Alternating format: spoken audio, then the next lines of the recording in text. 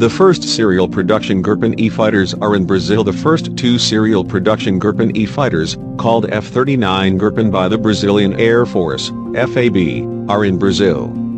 The aircraft arrived in the country last Friday, April 2 ST, at the port of Navegantes, and today completed their first flight in the country.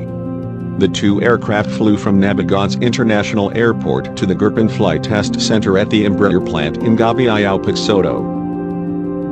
The flights were conducted by two Brazilian Air Force pilots, who participated in training in Sweden. The flight to Gavião Peixoto lasted approximately 50 minutes and took place as planned.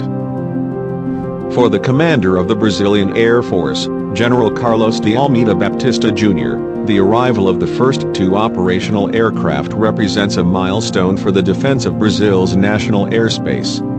The arrival of the aircraft is the result of a project that sought from the beginning to increase our deterrent capabilities, as well as having the objective to foster research and industrial development in Brazil.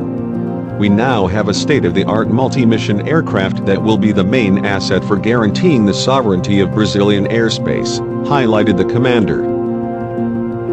The new fighters will remain at the Gripen Flight Test Center until the aircraft obtain the military type certificate. Thereafter they will be transferred to Anápolis for the final stages of the delivery phase.